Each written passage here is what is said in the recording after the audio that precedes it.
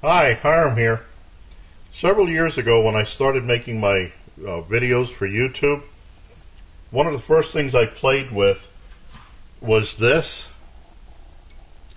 It's called the Vulcan Safety Chef Camp Stove. I got a couple of these. It's a pretty cool little stove.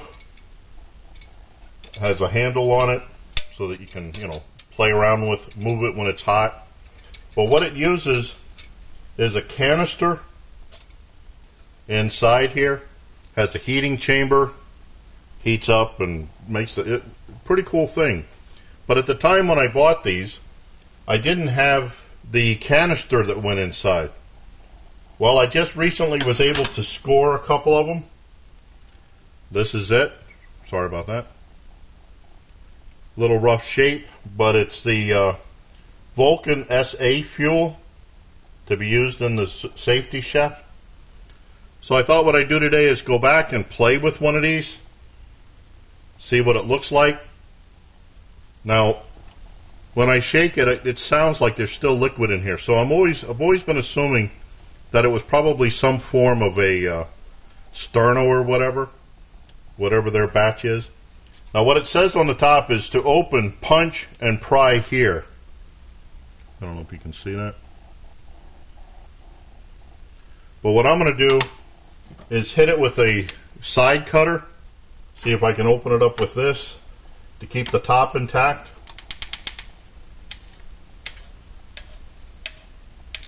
I like these side cutters for opening up some cans. Boy, it's a little tough. Okay, I think I'm all the way around. Let's see. Yep, it opened up. Huh, I'm not sure if this is going to work.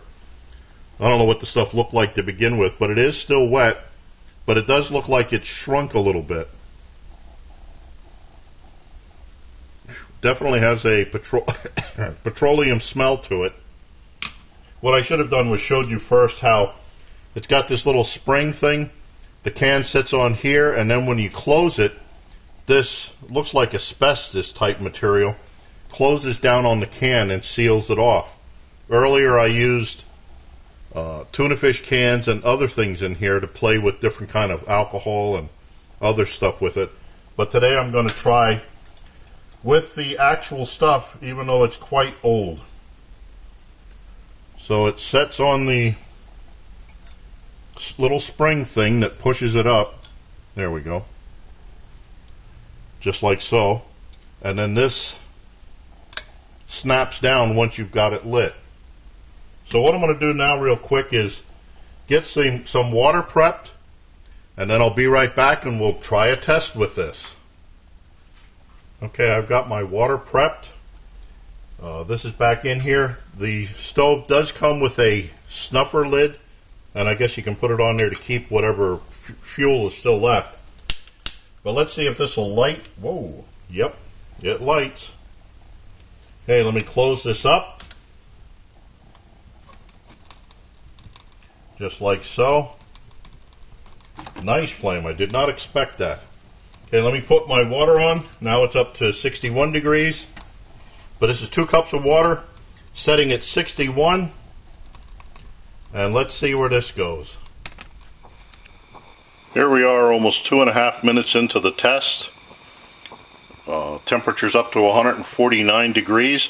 I have to admit I did not expect this kind of flame. I don't think I got this on anything else that I use. So this may be the the age of the canister. I mean, I'm guessing that this stuff is probably 20 years old or more. Can't find any dates on anything, but uh, it does look like it's starting to soot up the pan somewhat.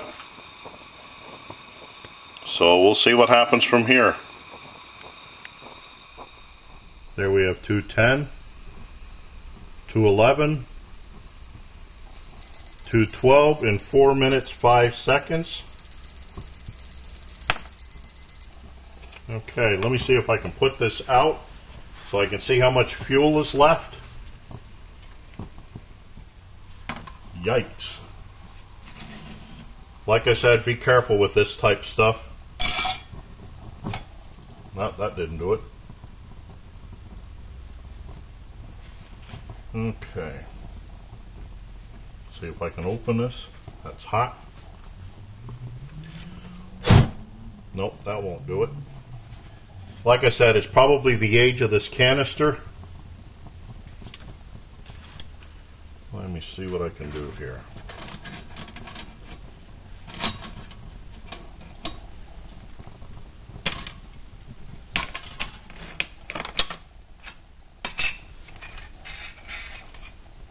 Quite a flame, huh?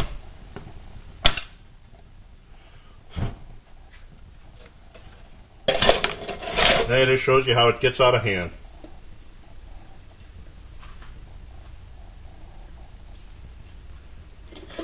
Okay, you always have to have a fire extinguisher nearby, but I'm going to see if I can get this out otherwise.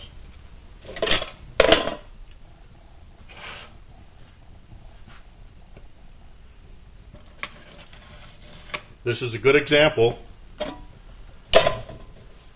of how things can get out of hand.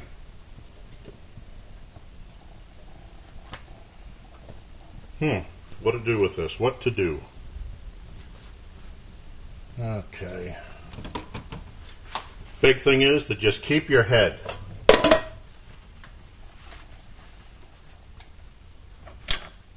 And what I'm going to try to do is move this over to the floor.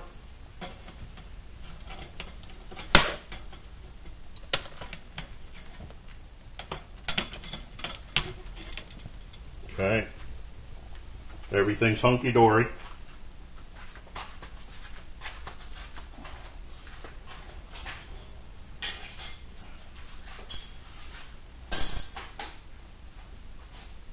Okay.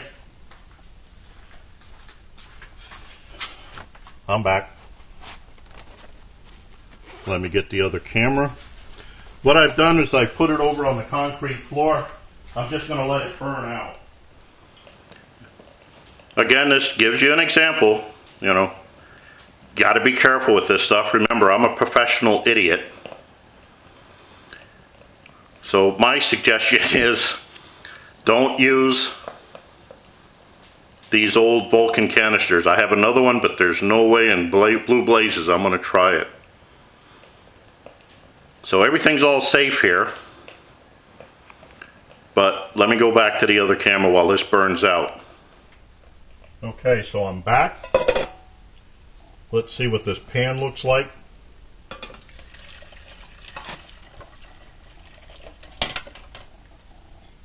Uh, quite a bit of, there's soot on there. Again, this was made,